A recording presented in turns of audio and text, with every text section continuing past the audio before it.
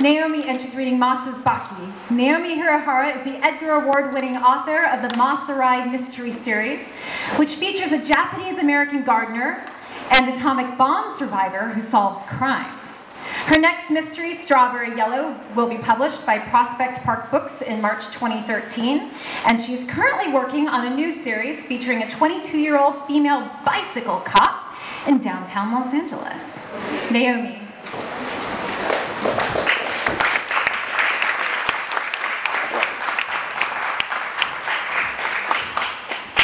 Thanks. I'm going to be reading from my first mystery called Summer of the Big Bachi. And um, bachi, does anyone know what that means? That means when what goes around comes around. And another word you might, ooh, you might want to know is uh, pikadon, which means atomic bomb. Maybe someone could just hold this for me. Hello? Okay, cool.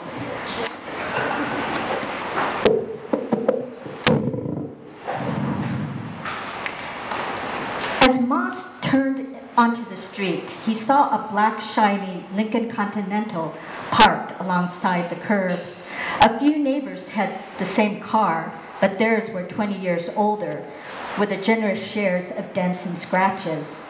This one looked all wrong in front of his house, and when Mas walked up to his porch, he found his hunch was on target.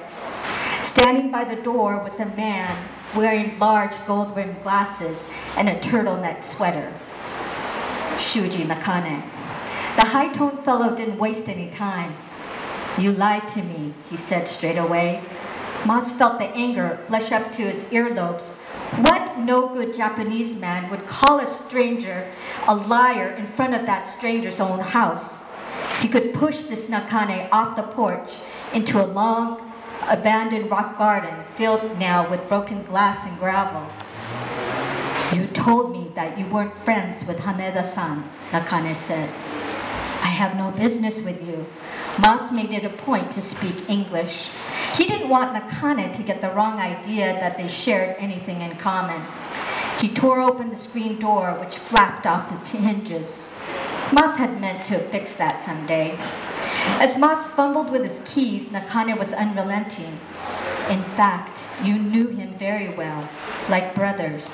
He pushed a photo in front of Mas's nose. It was an old-fashioned black and white photograph about wallet size. At first, Mas made no connection to the image, but then he began to focus more carefully. It was a stone bridge, the kind that you often saw in Hiroshima before the war. This one had been near the train station, Mas remembered. Three boys in black school uniforms stood on different spots on the bridge. That's you, Nakane's manicured finger pointed to the middle boy in between the other two, taller and lean. Those other boys, too, in fact, resembled each other, look-alikes with strong noses. But one was born in California, like Mas, while the other was a native Hiroshima boy. Where you get this, that is not your concern. Well then, I have no concern. Mas finally op opened the front door and attempted to close it behind him when the screen door fell down, almost knocking Nakane's glasses off his face. We can give you money for information, hissed Nakane, stepping over the torn screen. Mas kept the door open a crack. Who's we? My associates and I, we are prepared to make you a generous offer. You'd be wasting money. I have no information. You were with him, weren't you, when the Pikadon fell? What happened to him? Where is he now? I don't know, no Joji Haneda. Don't come around here anymore, Nakane-san. There's nothing I can help you with. His chest pounding, Mas slammed the door shut. He waited to hear the hum of an engine and pulled back the curtains an inch to see the Lincoln Continental drive away. Mas stumbled into the kitchen and opened the refrigerator for Budweiser. After taking a gulp, he paused by the sink and looked out the window. For a moment, he imagined two pairs of dark eyes, ones he had seen before, peering at him. Son of a... Mas gasped, and he quickly pulled the curtains together. What, you losing your mind? Just nerves, he told himself. but he went from room to room, clicking on the lights and checking every closet until he finally returned to the bedroom and lay down on his side. From his position, he could see the stack of old magazines by the bed. He knew that it was third one down, under the February AAA magazine and the Japanese Gobo. He knew practically every page by heart, the brunette in the royal blue panties, the blonde with the swollen basketball chichi. He lowered his hand towards the magazines and then stopped. He licked his lips. It's no good, he muttered. Damn you, old woman, where are you? His heart ached for those sagging empty breasts and the stomach lined with scars from surgery after surgery.